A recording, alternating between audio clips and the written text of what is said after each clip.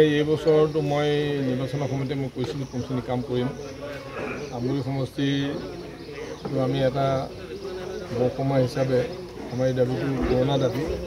সেইটো পাবৰ কাৰণে ইতিমধ্যেই মাননীয় মুখ্যমন্ত্ৰীলে আমি এখন পত্ৰ মই গুৱাহাটীত থাকোঁতেই তেখেতলৈ কণ্ঠেক্ট এতিয়া সেইটো হ'ল আমাৰ প্ৰথম মানে কাম আৰু ইয়াৰ পিছৰ যিখিনি কাম আছে আমি যিখিনি কাম কৰি আছিলোঁ আমাৰ সমষ্টিৰ যোগাযোগৰ যিটো ব্যৱস্থা সেই ব্যৱস্থাটো আমি উন্নত কৰিব লাগিব।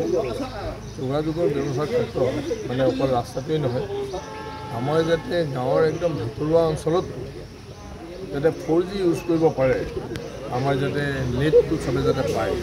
কাৰণ নেটটো পালেহে গোটেই পৃথিৱীৰ লগত মানে যোগাযোগ কৰিব পাৰিব। কেলৈ আজিকালি অনলাইন পঢ়া শুনা কৰিবলগীয়া হৈছে বজাৰ কৰিবলগীয়া হৈছে। সেইকাৰণে যাতে এইবিলাক সুবিধা হোৱাকৈ আমগুৰি সমষ্টিত প্ৰতিটো এৰিয়াত যাতে মানে যোগাযোগ কোনো কাৰণতে ডিষ্টাৰ্ব যাতে নহয় তাৰ কাৰণে মই ব্যৱস্থা ল'ম বুলি পেলাই ভাবিছোঁ এইটো কাম কিছু আগবাঢ়িছোঁ কিন্তু সম্পূৰ্ণ হোৱা নাই কাৰণে মই আগত এতিয়া একো নকওঁ আৰু ইয়াৰ পিছত হৈছে ঘৰে ঘৰে নল ঘৰে ঘৰে জল যিটো সেইটো ঘৰে ঘৰে যাতে পানী পায় আমি যেনেকৈ লাইট দিছোঁ সেই পানী পোৱাৰ ব্যৱস্থাটো আমি কৰিম।